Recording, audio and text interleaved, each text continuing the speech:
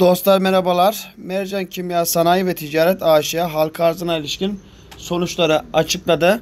Ve Mercan Kimya'nın son güncel konular arkadaşlarım bunlar. Malumunuz e, bir buçuk milyonun üzerinde bir lotun e, satılamadı, e, satılamadığını duyurmuşlardı.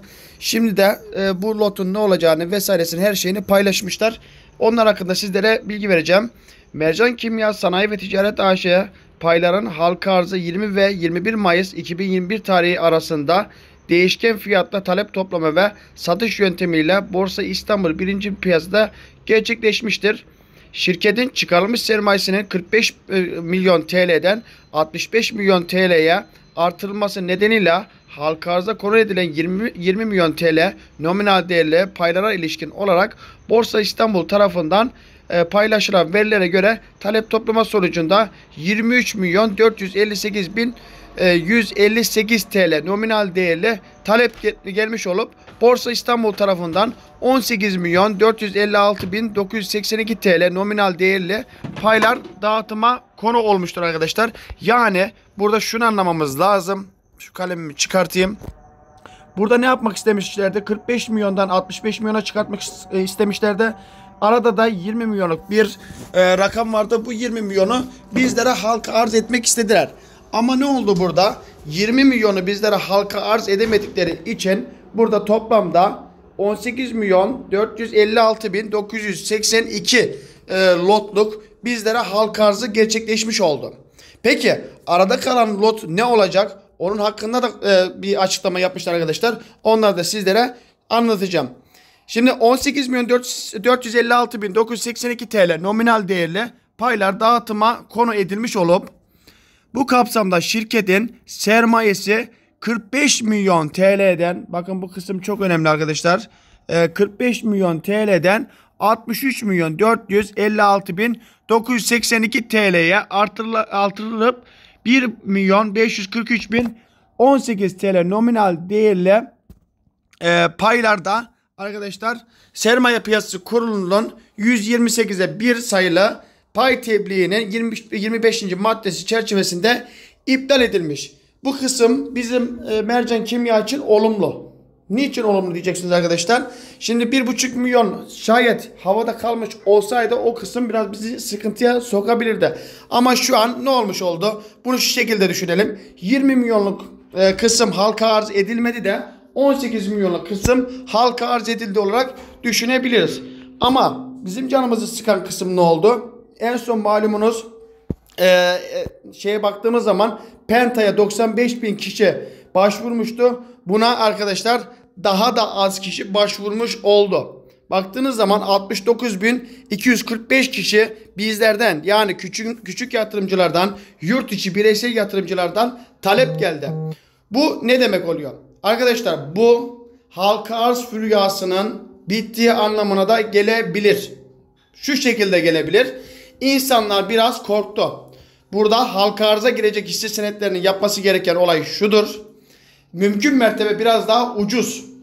Yani şimdi geldi bunda da 10 liralarda ve iki değişken fiyat 8.81 ile 10 liralarda bir fiyat e, belirtmişti. Ama ne oldu? Taban fiyattan şu an hissesini satmak zorunda kaldı. Bu da ne demek oldu? %25'lik %25'lik arkadaşlar baktığınız zaman biz biraz daha indirimli aldık. Bunda neye istinaden %25'lik indirimli aldık diyorum. Aracı kurumların yapmış olduğu bilgilere aracı kurumların e, iskonto bedelini olarak %25 olarak açıklamışlardı. E, en taban fiyata göre %25 açıklamışlardı. Tavan fiyattan şayet almış olsaydık %5 iskontolu almış olacaktık. Bu durumda şu an hisse senedi e, halka baktığımız zaman %25 oranında aracı kurumlara göre iskontolu olarak bizler almış olduk arkadaşlar. Şirket paylarının halka arzında 1 TL nominal değerli payların halka arz fiyatı şu an 8.81 TL olarak belirlenmiş oldu. E, belirlenen halka arz fiyatı ile halka arz büyüklüğü 162 milyarlık bir halka arz büyüklüğü olmuş oldu. Halka arz borsada İstanbul birincil piyasada borsada satış değişken fiyatlı talep toplama ve satış yöntemiyle yapıldığında herhangi bir yatırımcı grubuna tahsis, tahsis yapılmamıştır. Şirket paylarının halka arzına yatırımcı grubu bazında dağıtım bilgisi de şu şekilde tablo olarak belirtmişler arkadaşlar. Baktığımız zaman 69.245 lo- e, 45 kişi arkadaşlar.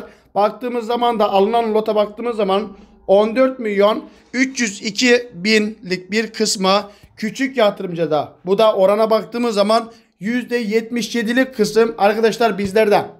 Biz ne yapacağız? Bu hisseyi ne yapacağız da? Şu an baktığımız zaman e, ne yapıyor arkadaşlar? Yüzde e, 15 kişi burada. 109 kişi de burada arkadaşlar. Baktığımız zaman biz bu vatandaşlara malımızı kaptırmamamız lazım. Yani şurada 120 kişiye mi? Yani 120 kişiden korkup da e, malımızı satarsak şayet sıkıntıya düşebiliriz arkadaşlar. Bizlerin bu hisseyi yapması gereken en önemli şey blok koş koymaktır arkadaşlar. Blok koyacaksın. Bakın blok koyacaksınız. Blok koymayı bilmeyen vatandaşlar önceki videolara bakabilirler. İşsenize şayet blok koyarsanız herhangi bir sıkıntı yaşamazsınız. Bakın bunu açık açık söylüyorum. Yaşamazsınız. Ama sizler gelip blok da koymazsanız kusura bakmayın ama bu vatandaşlar sizi sıkıntıya sokabilir. Baktığımız zaman ne yapıyor? 4200'ün üzerinde e, bu vatandaşların e, lotları var. Baktığımız zaman 4, e, 4 milyon üzerinde bir lotu var. Bu 4 milyonluk kısım bizi korkutabilir. Şayet e, şu şekilde olursa bizler blok koymazsak arkadaşlar e, sıkıntıya sokabilir. Büyük bir kısmı bizlerin elinde, küçük yatırımcının elinde.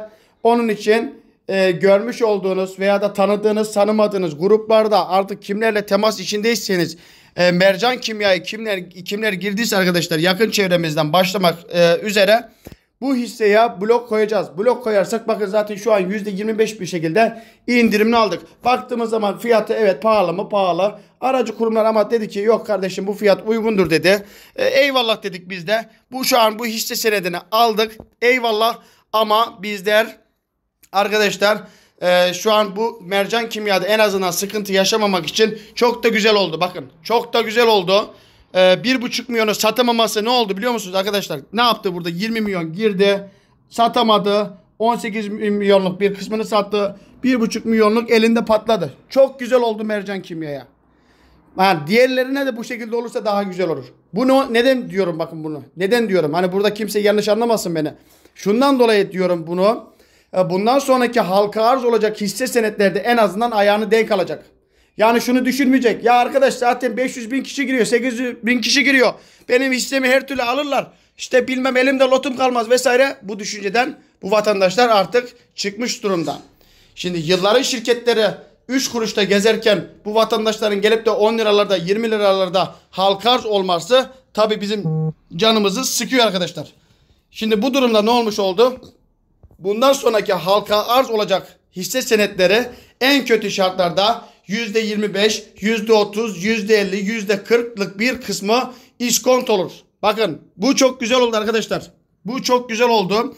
En azından bizlere %40'lık, %50'lik e, indirimli verecekler. İskontoyu bilmeyen vatandaşlar için de indirimli bir şekilde %40, %50 e, artık e, mümkün mertebe halk arzlarda biraz daha ucuz alabiliriz. En azından şirketlerin şu an gözü korkmuş durumda.